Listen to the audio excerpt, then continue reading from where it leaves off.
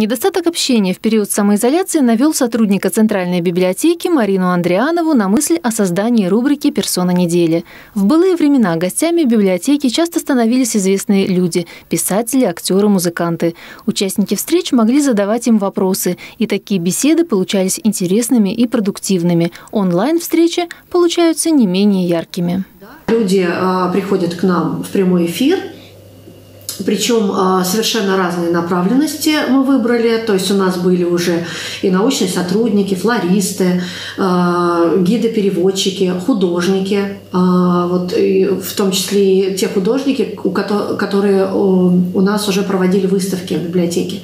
Марина Андрианова старается найти героев, с которыми будет интересно общаться, и, что не менее важно, актуально. Так в онлайн-студии появилась психолог Ольга Каширская сейчас такое непростое время, да, э, вот период самоизоляции, и люди, конечно, иногда, э, ну, загнаны немножко в тупик э, вот общение с семьей такое плотное, да, с детьми. Встречи проводятся в прямом эфире, но те, кто не может в назначенный час пообщаться с героем рубрики, может посмотреть эфир в ленте Инстаграм. Некоторые гости приходят в студию несколько раз. Так случилось с руководителем актерской школы «Волна» Алексеем Мельниковым.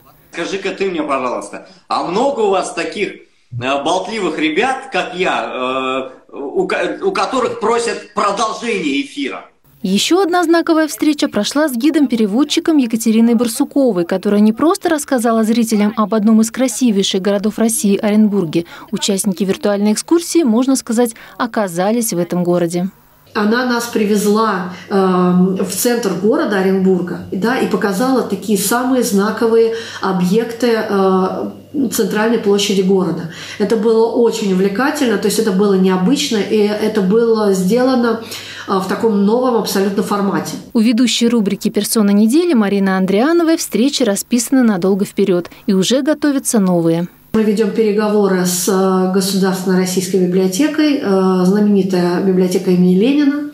Вот. И если э, библиотека Ленина выйдет с нами в прямой, прямой эфир, это будет еще что-то новое, потому что вообще взаимосвязь между библиотеками достаточно э, любопытна, да, вот э, как, какой-то опыт подчеркнуть. И любопытным по жизни видновчанам, считает Марина Алексеевна, тоже будет интересна эта встреча. Татьяна Брылова, Ольга Садовская, Видное ТВ.